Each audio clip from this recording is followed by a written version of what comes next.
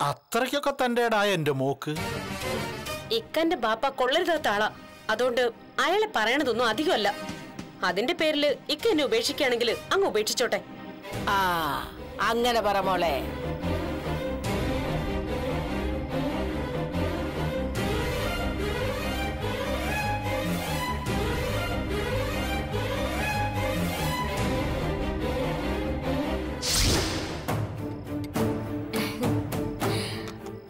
മോളുടെ മാമനും ഞാനും കൂടി മോക്ക് ഇഷ്ടപ്പെട്ടതൊക്കെ ഉണ്ടാക്കിയിട്ടുണ്ട്. നന്നായിട്ട് കഴിക്കണം കേട്ടോ. ആ ഇരിക്കമ്മേ. ജോലിക്കാരി ശാന്ത പോയതാണോ? അതോ നായനെ പറഞ്ഞു വിട്ടതാണോ? ഞാൻ പറഞ്ഞു വിട്ടൊന്നുമല്ല. പിന്നെ ഞാൻ അടുക്കള കയറി തുടങ്ങിയപ്പോ അവർക്കൊരു ജോലിയില്ലാന്ന് തോന്നിയപ്പോ പോയി കാണും. ആ ഒരു കണക്കിന് സഹായത്തിന് ആരെയും വെക്കാതെ വീട്ടിലുള്ളവർ തന്നെ ഭക്ഷണം പാവപ്പെടുത്തുന്നതാണ് നല്ലത്. എങ്കിലും കുറച്ചുകൂടി കഴിയുമ്പോ ഇവ അവശത കൂടില്ലേ? അപ്പോ സഹായത്തിന് ഒരാൾ വേണ്ടേ? ആ സഹായത്തിന് ആളൊക്കെ ഉണ്ട്. പക്ഷെ അടുക്കളയിൽ കയറത്തില്ല അല്ല രോഹിണി ചേച്ചി അവിടെ വന്നാലും വളരെ കഷ്ടപ്പെട്ട് സവോളയും വെണ്ടയ്ക്കയും തക്കാളിയൊക്കെ അരിയും. മുമ്പ് അങ്ങനൊന്നും അല്ലായിരുന്നു. എന്നെ പോലും അടുക്കള കേറ്റില്ലായിരുന്നു.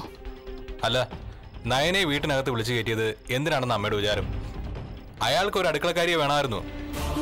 ഉം, അടുക്കളക്കാരി. എങ്കിൽ അടുക്കളക്കാരി ഈ അമ്മയുടെ മരുമകളായിട്ട് ജീവിക്കുന്ന തന്നെ പുണ്യല്ലേ ശരത്തേട്ടാ?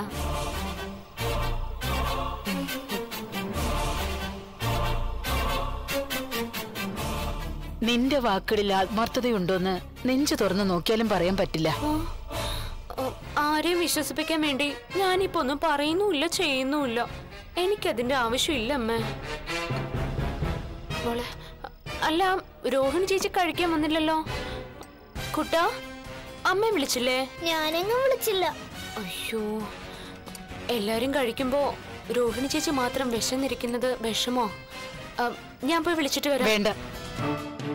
അവക്ക് വേണമെങ്കിൽ വന്ന് കഴിക്കട്ടെ. എന്നാലും അങ്ങനെ അന്യെ പോലെ കഴിയേണ്ടവളാണോ അമ്മേ രോഹിണി ചേച്ചി? ദേ ഭക്ഷണത്തിന് മുന്നിൽ വരുമ്പോഴെങ്കിലും കുത്തുവാക്കുകൾ ഒഴിവാക്കണേ. കുത്തുവാക്കുകൾ കേട്ട് കേട്ട് എന്റെ ചേച്ചി അങ്ങ് മെലിഞ്ഞുണക്കം എന്നെ പോലെ ആയിപ്പോയി. ഞാനും വിളിച്ചിരുന്നു. പോയി വെട്ടി വിഴുങ്ങാനാ എന്നോടും പറഞ്ഞത്. ആ ഇവിടുന്ന് പോവാൻ വേണ്ടി പത്തരം ഭാഷയാ പറഞ്ഞുകൊണ്ടിരിക്കുന്നത് മോൻ അതൊന്നും കാര്യാക്കണ്ട. ഇവിടിപ്പോ മോനല്ല അവളാ അധികപ്പറ്റേ.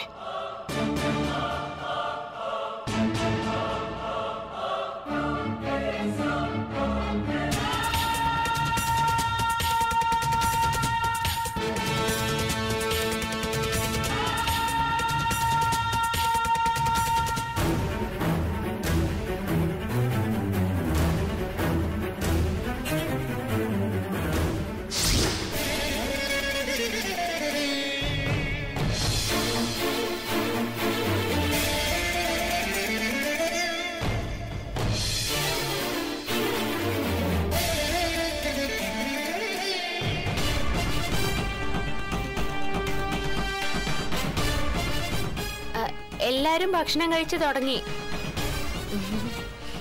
ചേച്ചി മാത്രം ഇങ്ങനെ മാറിയിരിക്കുന്ന കാണുമ്പോ ഒരു വിഷമം ഒരു സങ്കടം. വാ ചേച്ചി വന്നെന്തെങ്കിലും കഴിക്ക്. പൊടി നീ പോയിരുന്ന് കഴിക്കും. വിശപ്പ് സഹിക്കാൻ വയ്യാത്തത് നിനക്കല്ലേ?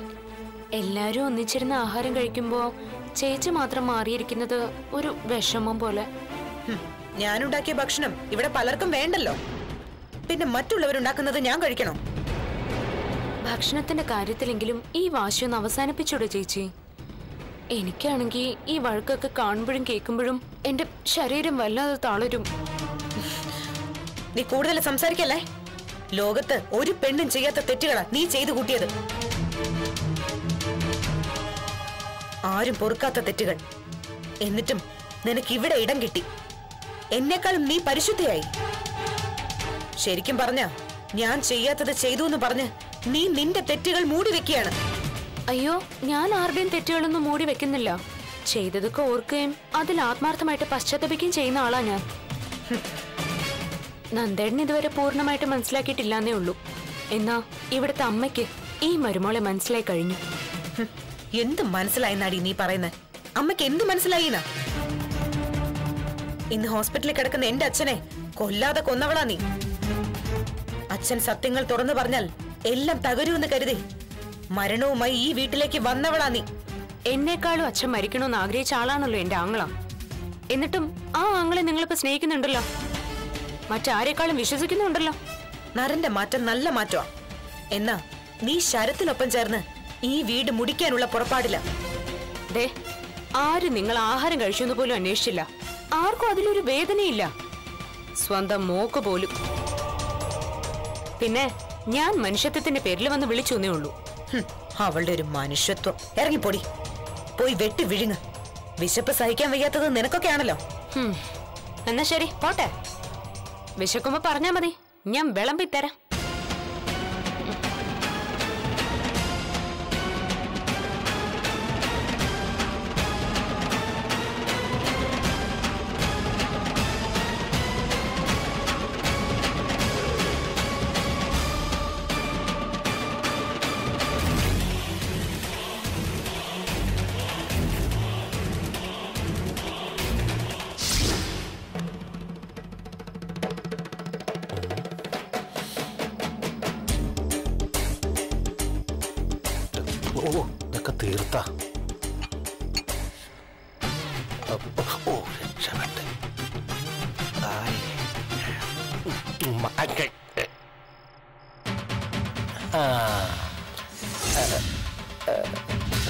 മലയ്ക്ക് പോകുന്നവന്റെ വ്രതം. തെറ്റി. ഇത്തവണ പോണില്ല. എന്നാലും കുറച്ച് ദിവസം പോലും അനക്ക് വ്രതം എടുക്കാൻ പറ്റുന്നില്ലല്ലോ അതെ ഉറപ്പിച്ച്. പ്രായശ്ചിത്തമായിട്ട് അടുത്ത വർഷം നാപ്പത്തൊന്ന് ദിവസം ഞാൻ വ്രതം എടുക്കും. മാല ഒരു കളയടാ മ- മാലേ?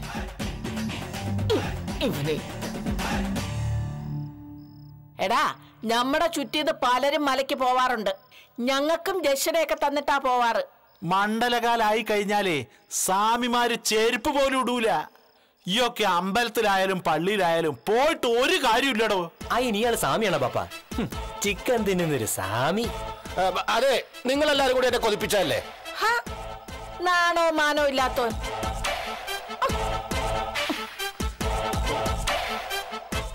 വരണടാ. ഓ മാല ഇട്ടപ്പോഴേ അതിലെന്തോ ഒരു കള്ളത്തരണ്ടെന്ന് ഞമ്മക്കറിയാ. ഇപ്പം കണ്ടില്ലേ? കഷ്ടം. ആരൊക്കെ എന്തൊക്കെ പറഞ്ഞാലും ചിക്കന്റെ ടേസ്റ്റ് ഒന്ന് വേറെ തന്നെ ഹൗ.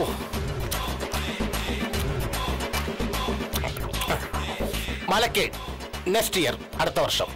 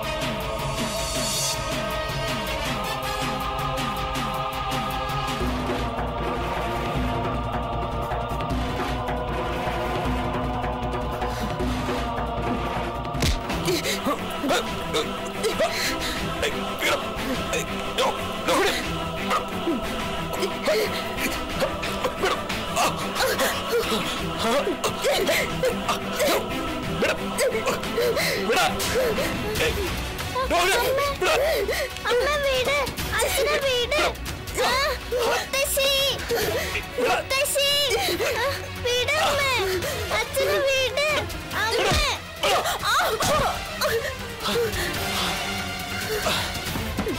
മോനെ ശരത്തെ. രോഹിണി വാതിൽ തീർക്ക് ശരത്തെ. മോനെ വാതിൽ തുറക്ക്. എന്താ? എന്താ? എന്താ ഇവിടെ?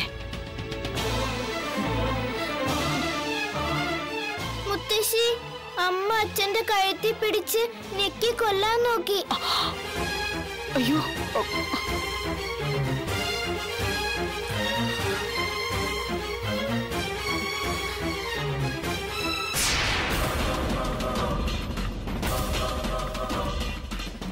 ശരിയാ മോൾ പറഞ്ഞത്. കൊല്ലാൻ വേണ്ടി തന്നെയാ കഴുത്തിന് പിടിച്ച് ഞെക്കിയത്.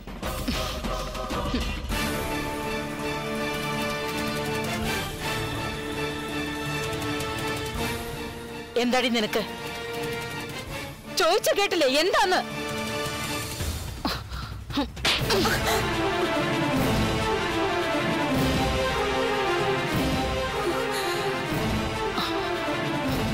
നമ്മുടെ കണക്കുകൂട്ടിൽ ശരിയാ മോനെ.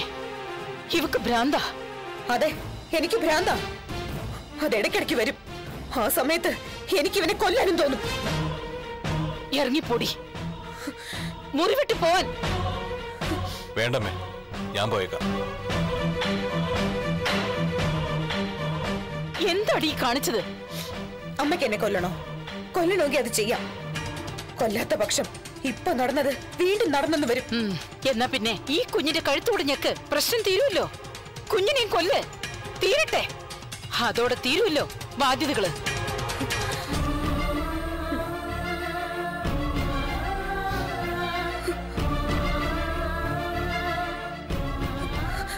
മോളെ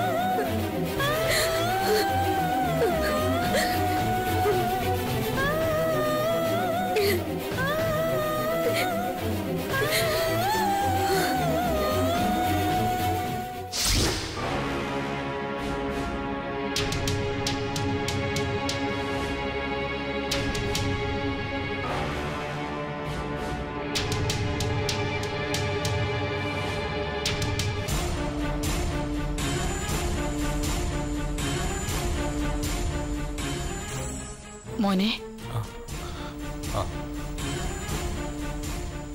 ഭയം ഇപ്പോഴും വിട്ടു മാറിയിട്ടില്ലമ്മേ.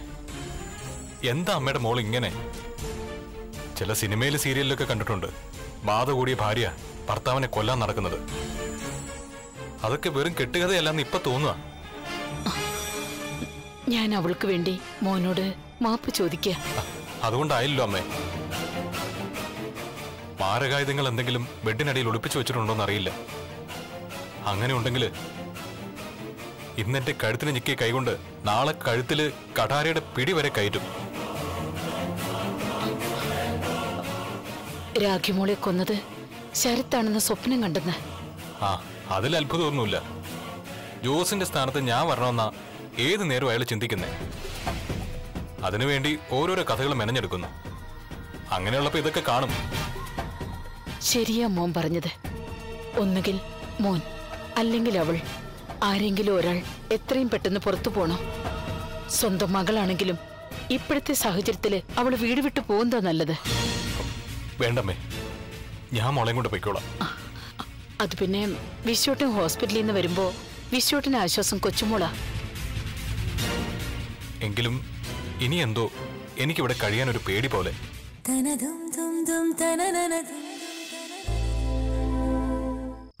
ഇനി എന്തോ എനിക്കിവിടെ കഴിയാൻ ഒരു പേടി പോലെ. കുട്ടിക്കാലത്ത് ഞാൻ പ്രേതങ്ങളെ പേടിച്ചിട്ടുണ്ട്. പിന്നെ ഇപ്പൊ ഭാര്യ കാണുമ്പോ അങ്ങനെ തോന്നാ. കൊല്ലു അമ്മേ. ഒരു ദിവസം എല്ലാവരും ഉറക്കെഴുന്നേക്കുമ്പോ ഞാൻ മാത്രം ഉണരില്ല. അയാൾ എന്നെ വെറുത്തപ്പോ തന്നെ ജോസിനെ മനസ്സിലിട്ടുകൊണ്ട് നടന്നപ്പോ തന്നെ ഞാൻ മരിച്ചു കഴിഞ്ഞിരുന്നു. പിന്നെ എനിക്കെന്തെങ്കിലും സംഭവിച്ച എന്റെ മോൾക്ക് സമതല തെറ്റും. അതുറപ്പാ അത് ആലോചിക്കുമ്പോ എന്റെ കൈകൾ കൂട്ടി കെട്ടിയിട്ടതുപോലെ ഒന്നും ചെയ്യാൻ പറ്റാത്ത അവസ്ഥ. ഭർത്താവ് ഒഴിഞ്ഞു പോകില്ല എന്ന് ഉറപ്പായപ്പോ ഒഴിവാക്കാൻ വേണ്ടി കൊല്ലാൻ ആഗ്രഹിക്കുന്ന ഭാര്യ മരണം ആഗ്രഹിക്കുന്ന ഭാര്യ അത് തിരിച്ചറിയുന്ന ആത്മാഭിമാനമുള്ള ഒരാണിന് പിന്നെ അയാളുടെ കൂടെ കഴിയാൻ പറ്റില്ല അമ്മേ. എന്തായാലും ഒരു തീരുമാനം എത്രയും പെട്ടെന്ന് എടുക്കണം. ഒന്നുകിൽ മോളെ കാര്യങ്ങൾ പറഞ്ഞു മനസ്സിലാക്കി കൂടെ നിർത്തണം. അല്ലെങ്കിൽ എനിക്കൊപ്പം വിടണം. രണ്ടിലൊന്ന് എത്രയും പെട്ടെന്ന് നടന്നേ മതിയാവൂ. മോനെ മോൻ പോവാണോ? ഞാൻ പറഞ്ഞല്ലോ. ഇനി ഇന്ന് രാത്രി ഇവിടെ നിന്നാൽ ശരിയാവില്ലമ്മേ. കളി അടങ്ങട്ടെ അമ്മയുടെ മോളുടെ. എന്നെ കിട്ടാത്ത ദേഷ്യത്തിന്. എന്റെ മോളുടെ കഴുത്തിന് പിടിച്ച് ഞെക്കാതിരിക്കാൻ നോക്കിക്കോ.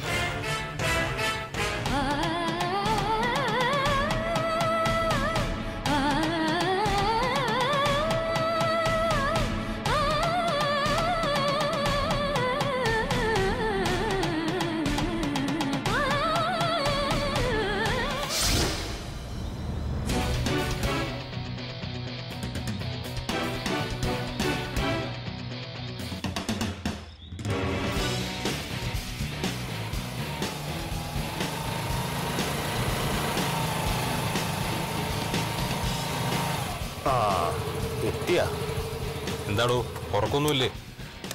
എല്ലാ വർഷവും പോകുന്ന മലക്കി അത് മുടങ്ങി. എന്താ കാരണം? ഓ എല്ലാവരും ചിക്കനും മീനും കഴിക്കണം കണ്ടപ്പോ കൺട്രോൾ പോയി. ചിക്കൻ എടുത്തൊന്ന് രുചിച്ച്. അല്ല ഈ പാതിരാത്രിക്ക് നീ എവിടെ കറങ്ങി നടക്കേ?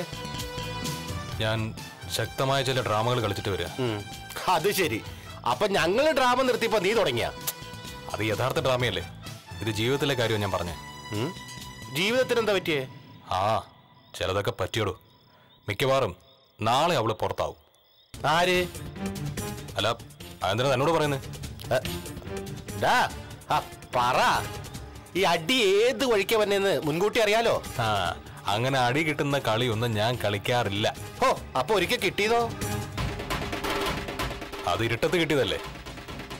അതിന് പകരം വീട്ടാനും എനിക്ക് നന്നായിട്ട് അറിയാം ഒത്തു കിട്ടിയാ തട്ടുകിടന്ന് തന്നെ അവന് ശരിയാക്കിക്കോളും ഇതിങ്ങനെ മുന്നോട്ട് പോയാൽ മതിയാ. ഇതുകൊണ്ട് എന്തെങ്കിലും മെച്ചം ഉണ്ടാവണ്ടേ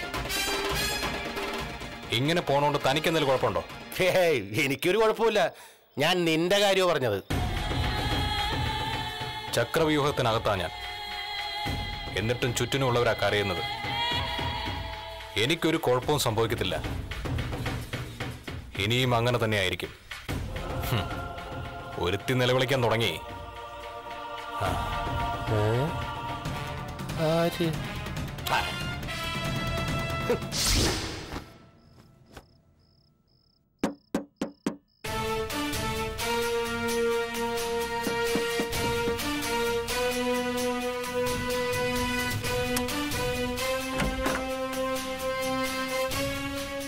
എവിടെയായിരുന്നു ഇതുവരെ? ആ, ഒരു ആക്സിഡന്റിൽ പെട്ട ആളെ ഹോസ്പിറ്റലിൽ വരെ കൊണ്ടുപോകേണ്ടി വന്നു.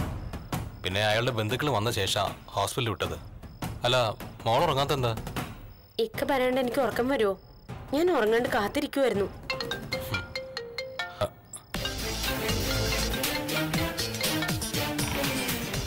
ഹലോ? മോചിതയാടാ. ഞാൻ അടുത്തടുത്ത് വന്നോണ്ടിരിക്കുവാ. മോളു ഒരു മിനിറ്റ്.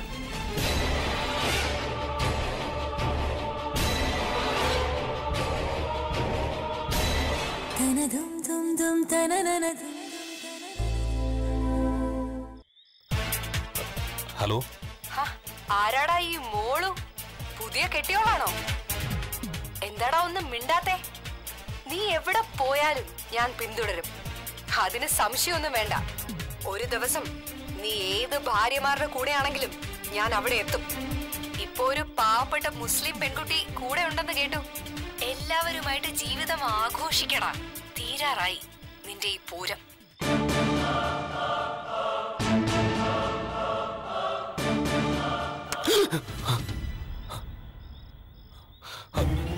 എന്തിനൊക്കെ ഇങ്ങനെ ഞെട്ടിയേ? ആരാ വിളിച്ചേ? അത് കീരിക്കടൻ ജോസായിരുന്നു. അയാൾ ഞാൻ എവിടെ ഉണ്ടെന്ന് ചോദിച്ചു. ഞാൻ സ്ഥലം മാറ്റിയാ പറഞ്ഞത്. അയാൾ ഇനി ഇങ്ങോട്ടെങ്ങനെ കയറി വരുമോ ആ, ഒന്നും പറയാൻ പറ്റില്ല. ഇക്ക അങ്ങനെയാണ് പോലീസുകാരോട് പറ. അതൊന്നും ശരിയാവില്ല. ഞാൻ ബാപ്പയോട് പറയട്ടെ. എന്ത് കേട്ടല്ലോ എന്തിനാ ബാപ്പി അമ്മയെ അറിയിക്കുന്നേ? ഇപ്പോഴും കൊച്ചുകുട്ടിയാണെന്ന് വിചാരം? നമ്മൾ രണ്ടാളും മാത്രം അറിയേണ്ടത് നമ്മൾ രണ്ടാളും മാത്രം. കേട്ടല്ലോ?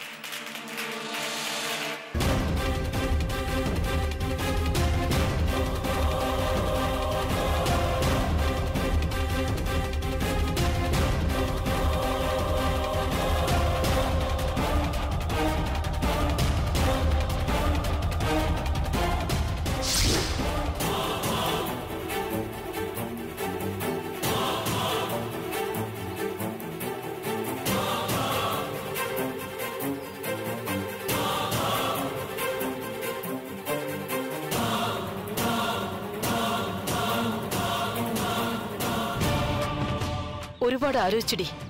നന്ദനോടും ചോദിച്ചു. ഞങ്ങൾക്കെല്ലാം ഒരേ അഭിപ്രായോ. ശരത് ഈ വീട്ടിൽ വേണം. പോകേണ്ടവൾ നീ തന്നെയാ. പോകാൻ എനിക്കൊരു മടിയുമില്ല. പക്ഷേ എന്റെ മോളും എനിക്കൊപ്പം വേണം. എന്തിന്? ശരത്തിനെ പോലെ തന്നെയാ. നിനക്കിപ്പം മോളും. കുഞ്ഞും ഭാരം തന്നെയാ. അമ്മ എന്ത് പറഞ്ഞാലും ശരി. കുഞ്ഞിനെ ഞാൻ കൊലയ്ക്ക് കൊടുക്കില്ല.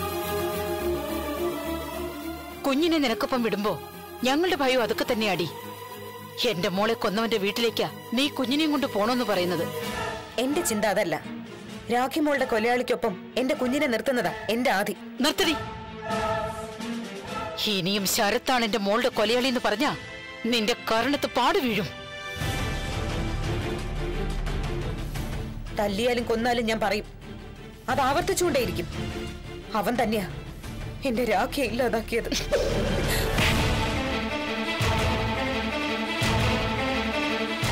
മോളുടെ മോളെ മോക്ക് തിരിച്ചു കിട്ടും. കുഞ്ഞിനെ നഷ്ടപ്പെടാനൊന്നും പോകുന്നില്ല. അവസാനം അത് തന്നെ സംഭവിച്ചു. അത് തന്നെ എനിക്ക് ചെയ്യേണ്ടി വന്നു. അങ്ങനെ സത്യം ജയിക്കുമ്പോ ഒരുപാട് കരയേണ്ടി വരുന്നത് അവൾ തന്നെയായിരിക്കും. മോചിത വരുന്നുണ്ട്. അതോടെ തീരും ഈ പൂരം.